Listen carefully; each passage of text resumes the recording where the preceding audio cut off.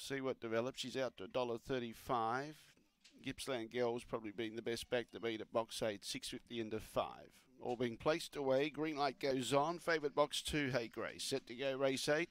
Call the dry cleaners away. Began quite well, the favourite Hey Grace, but there's good speed by Ros's Sapphire to get across. Now, Thermo Beach wanted to get up. Hey Grace copped a little bump there from Gippsland Girl, but gets into second place and got past that. So, chasing out after Ros's Sapphire. Here comes the favourite Hey Grace now, peeling to the outside.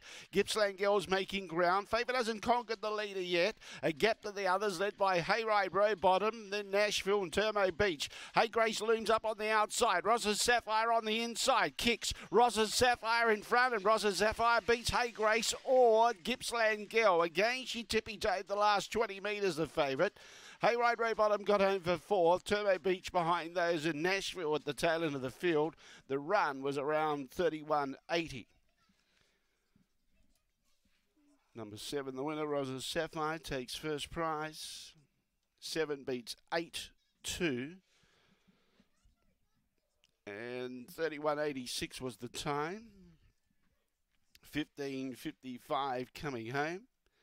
Two lengths by a nose, two lengths by a nose, 782 and 4. 7, 8, 2, 4 the judges' numbers.